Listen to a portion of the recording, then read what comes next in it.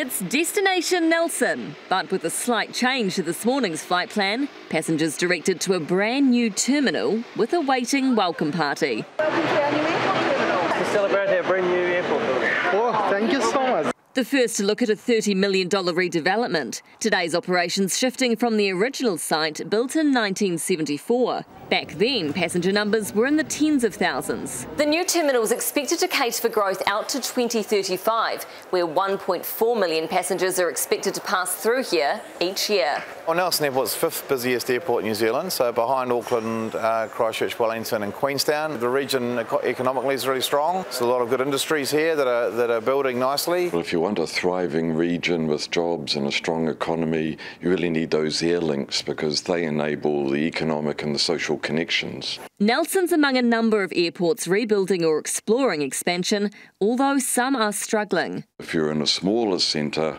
or you've got fewer flights, it's much harder for them to um, do that within their own resources, and it can be a burden on ratepayers in a small district. Nelson and Tasman's councils co own the airport, with the region's best features showing in the architecture. The whole building is built out of um, laminated veneer lumber. It's grown locally uh, in our forest. The design is meant to uh, mimic the ranges so we can see uh, through to the Abel Tasman. The old site will now be demolished with completion another year away. Caitlin Ruddock, One News.